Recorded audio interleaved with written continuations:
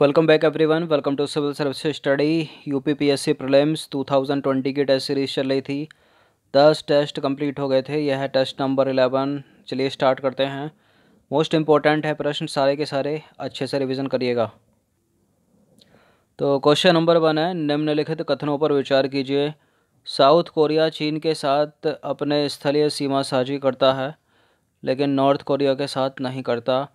Corona virus के कारण समाचारों की सुर्खियों में रहा वुहान, विश्व मानचित्र पर चीन के पश्चिमी छोर पर स्थित है।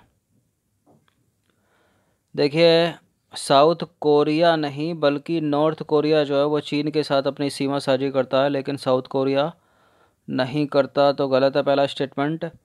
कोरोना वायरस के कारण समाचारों की सुर्खियों में रहा वुहान, जहाँ से कोरोना कोविड नाइन्टीन शुरू हुआ।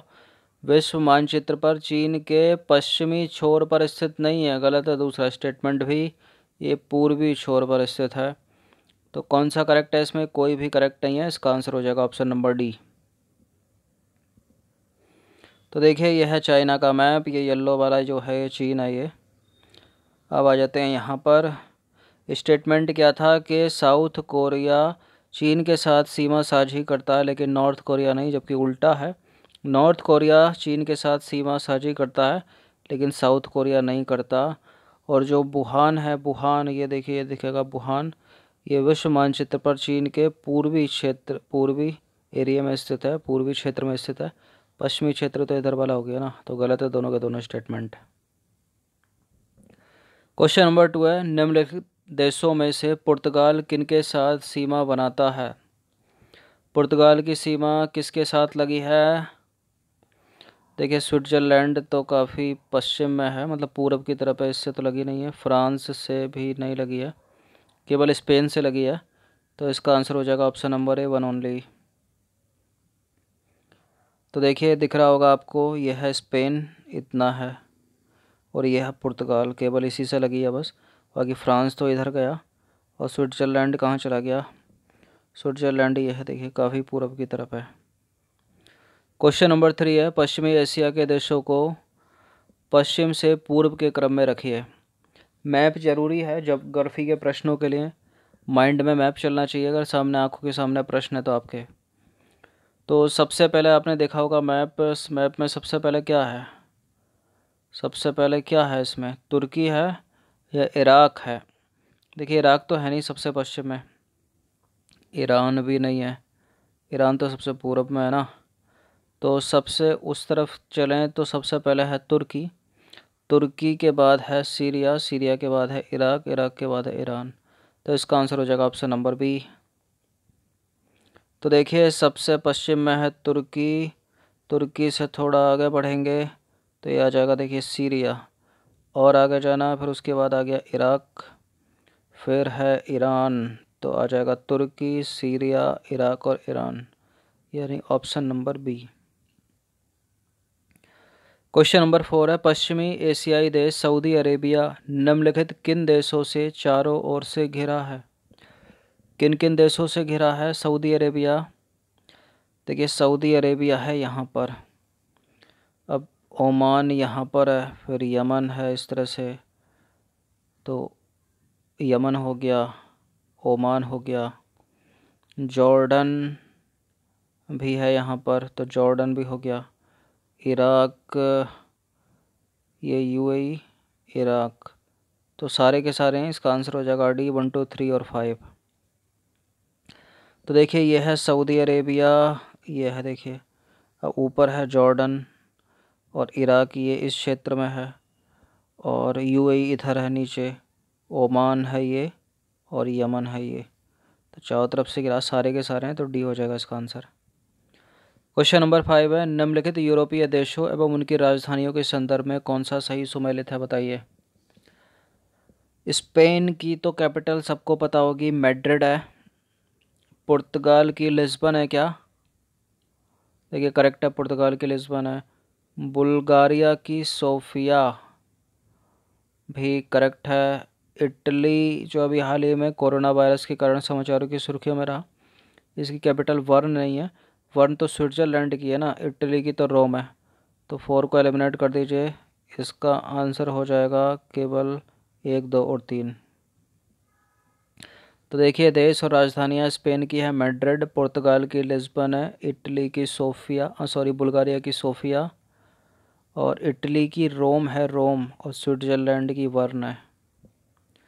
क्वेश्चन नंबर सिक्स है, निम्नलिखित में से किस देश की स्वीडन के साथ सबसे लंबी स्थलीय सीमा है? किस देश की स्वीडन के साथ सबसे लंबी स्थलीय सीमा साझी होती है इसमें? देखिए, आइसलैंड तो पश्चिम में है, ये तो अलग हो गया पूरा। अब डेनमार्क, फिनलैंड से भी कहीं ज़्यादा है, नॉर्वे की। तो इसका आंसर हो जाएगा ऑप्शन नंबर बी। तो देखिए, ये फैला है स्वीडन और स्वीडन के साथ सबसे लंबी स्थलीय सीमा है नॉर्वे की। देखिए, कहाँ तक फैली है ऊपर तक? और फिनलैंड की उतनी कहाँ है? फिनलैंड तो यहीं से स्टार्ट हो रहा है ना, इतना ही चलिए तो इसका आंसर क्या हो जाएगा? नॉर्वे। क्वेश्चन नंबर सेवन है, निम्नलिखित में से कौन से देश हिंद महासागर के साथ तटीय सीमा बनाते हैं? इंडियन ओशियन देखा होगा, फिर आपने अफ्रीका की कंट्री लग रही है तो सारी अफ्रीका का। अफ्रीका के इस तरफ़ इंडियन ओशियन है। अफ्रीका के इस तरफ़ इंडियन ओशियन है ना, और इस तरफ़ क्या है? पैसिफिक ओशियन है। तो यानी इस वाले एरिया में जो देश होंगे, वही करेक्ट होंगे। तो साउथ अफ्रीका सबसे दक्षिण में यहाँ है, यहाँ। तो है करेक्ट है। फिर सोमालिया यहाँ है, ये भी लगाता है। फिर मोजाम्बिक यहाँ है तो ये भी है। तंजानिया भी है, यहाँ तंजानिया, मोजाम्बिक ऊपर तो ये भी है।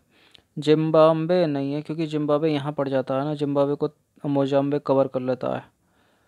मतलब लगने नहीं देता इस इसकी तटीय सीमा इंडियन ओशन से। तो फोर को एलिमिनेट कर दीजिए, जहाँ पर फोर है वो नहीं होगा। इसका आंसर हो जाएगा one, two, three, five. One, two, three, five मतलब ऑप्शन नंबर सी।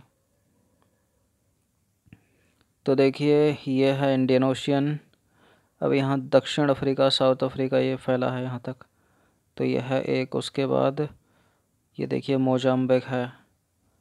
मोजाम्बिक है। मोजाम्बिक को कब नीचे कवर कर लिया इसने? जिम्बाब्वे आने नहीं दी ना इस तरह यहाँ पर तटीय सीमा की। तो साउथ अफ्रीका हो गया, ऊपर मोजाम्बिक हो गया। मोजाम्बिक से ऊपर ये तंजानिया, देखिए यहाँ। तंजानिया से ऊपर ऊपर चलेंगे तो केन्या भी है, जो ऑप्शन में नहीं था। और यह है, सोमालिया ऊपर तक लगा है। क्वेश्चन नंबर एट है, उत्तरी अफ्रीका के देशों को पश्चिम से पूर्व के क्रम में रखना है। अफ्रीका, जितने भी कंटिनेंट हैं, सबके मैप आप अच्छे से देखा कीजिए माइंड में उनको रट लीजिए। तो इस तरफ़ से शुरू करके यहाँ तक शुरू करना है। तो केन्या भी नहीं है ना इधर तो मिस्र विस्र है सबसे लास्ट में तो। केन्या यहाँ है। तो देखिए, सबसे पश्चिम में इधर की तरफ़ जो है, यहाँ पे तो आपको मोरक्को मिलेगा। मोरक्को के बाद अल्जीरिया, उसके बाद लीबिया, फिर इजिप्ट यहाँ पर जिसको मिस्र बोलते हैं हिंदी में। तो इसका आंसर हो जाएगा ऑप्शन नंबर बी सबसे पहले मोरक्को और पूरब की तरफ़ चलो, अल्जीरिया, लीबिया और मिस्र। तो देखिए, यह है मोरक्को सबसे पश्चिम में। आगे की तरफ़ चलेंगे, मिलेगा अल्जीरिया और पूरब की तरफ़ चलेंगे, लीबिया मिलेगा और फिर सबसे एंड में मिलेगा इजिप्ट मतलब मिस्र। क्वेश्चन नंबर नाइन है, निम्नलिखित में से कौन से देश वोत्सवाना को चारों ओर से घेरे हुए हैं? वोत्सवाना कहाँ का कंट्री है? अफ्रीका कॉन्टिनेंट का कंट्री है। तो वोत्सवाना यहाँ यहाँ चारों तरफ़ फैले हैं। नामीबिया फैला है, अंगोला भी फैला है, जाम्बिया भी फैला है। और दक्षिण अफ्रीका भी फैला है, जिम्बाब्वे भी फैला है। तो इसका आंसर क्या हो जाना चाहिए? ऑप्शन नंबर सी हो जाना चाहिए, ए और बी दोनों। ये डी नहीं होगा।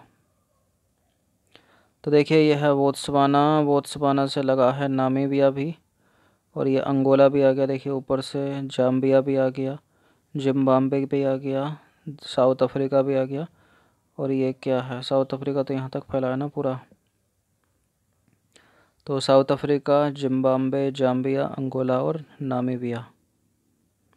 नामीबिया, अंगोला, जिम्बा, जाम, जिम्बाब्वे और जाम्बिया ये है और ये है साउथ अफ्रीका। पाँच के पाँच हैं।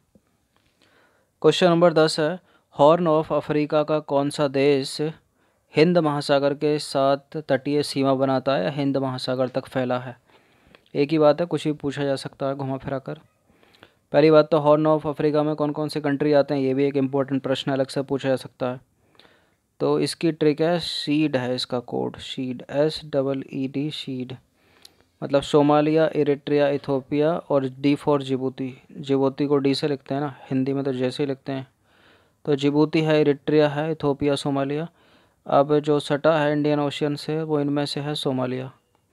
तो इसका आंसर हो जाएगा ऑप्शन नंबर ए तो देखिए ये है इंडियन ओशियन नीचे अब यहाँ पे ये है देखिए सोमालिया इंडियन ओशियन से ये ये सब इंडियन ओशियन ही तो है ये। और इथोपिया तो कवर अप है। और बाकी जिबूती ये है और इरिट्रिया यहाँ से देखिए रेड सी है, आ रहा है ऊपर से। तो ये तो होगा नहीं। तो इसका आंसर क्या हो जाएगा? सोमालिया केवल। ये है सोमालिया तो हॉर्न ऑफ़ अफ्रीका जो, का जो कंट्री है, जो इंडियन ओशियन तक फैला है तो उसका आंसर हो जाएगा सोमालिया तो दस प्रश्न थे इम्पोर्टेंट थे ऐड किए गए थे। इन प्रश्नों को अच्छे से रिवीजन कीजिएगा और कोशिश कीजिएगा मैप देखने की। जोग्राफी के बहुत सारे प्रश्न मैप देखकर बन जाते हैं, यानी प्रश्न अगर सामने कोई पूछ रहा है तो सीधे मैप आपके माइंड में चलना चाहिए कि कौन सा कंट्री कहाँ पर है, कौन सा कहाँ पर है। कुछ इंपॉर्टेंट प्रश्न आने वाली परीक्षाओं में पूछे जा सकते हैं चीन से संबंधित, या फिर जहाँ जहाँ का कोरोना का प्रकोप ज़्यादा रहा। चलिए, धन्यवाद।